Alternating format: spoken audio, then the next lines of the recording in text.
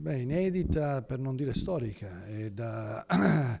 da sempre che questo nostro territorio eh, con ferite profonde sul dissesto idrogeologico chiedeva diciamo, risposte concrete. Mettiamo in campo risorse eh, nazionali e regionali e con il concorso della BEI proviamo a dare una risposta significativa al dissesto idrogeologico, quindi alla tutela, alla prevenzione e, e proviamo a risarcire i danni che nel tempo anche a volte la mano dell'uomo ha determinato sul, sul nostro patrimonio.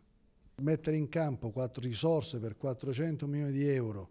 e iniziare operativamente con una prima fiche di 100 iscritta in bilancio regionale